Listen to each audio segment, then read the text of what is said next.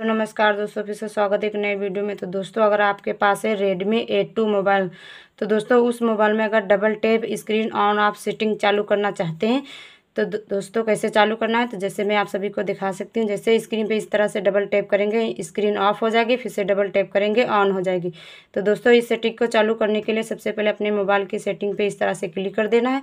जैसे ही क्लिक करोगे always on display locks screen पे आपको क्लिक कर देना है। जैसे ही क्लिक करोगे, यहाँ पे आपको double tap screen on off की सेटिंग मिल जाएगी। इस तरह से आपके फ़ोन में बंद होगी, फिर आपको इसे चालू कर देना जैसे ही चालू कर दोगे, आप पीछे आना है इस तरह से फिर आप डबल टैप करेंगे इस तरह से स्क्रीन ऑफ़ हो जाएगी फिर से डबल टैप करोगे ऑन हो जाएगी। तो दोस्तों वीडियो पसंद आए वीडियो को लाइक चैनल को सब्सक्राइब करना ना भूलें।